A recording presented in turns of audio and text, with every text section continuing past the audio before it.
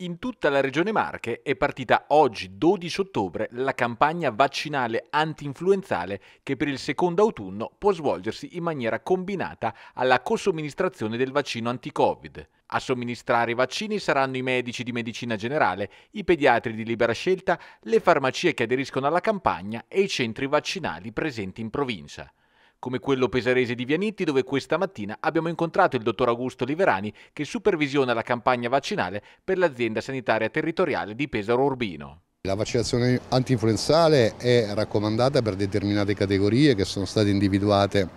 dalla circolare ministeriale che sono i soggetti di età maggiore o uguale a 60 anni,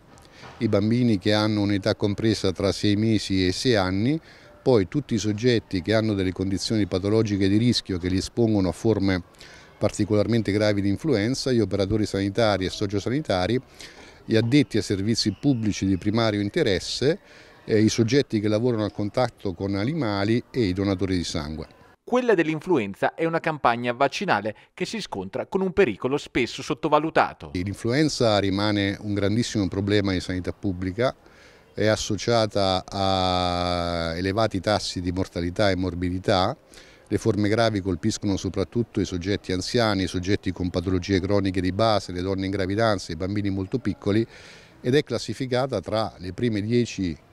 in Italia è classificata l'influenza e la polmonite ad essa associata tra le prime 10 casi di morte. Noi in Italia ci sono almeno 8.000 decessi all'anno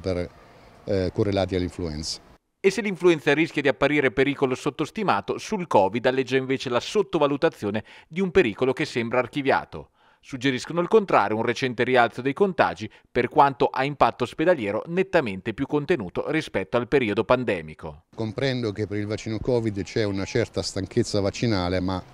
è fondamentale che le persone fragili, gli anziani, gli operatori sanitari, le donne in gravidanza, eh, i soggetti con condizioni patologiche di rischio si sottopongano a richiamo con il vaccino aggiornato contro il Covid-19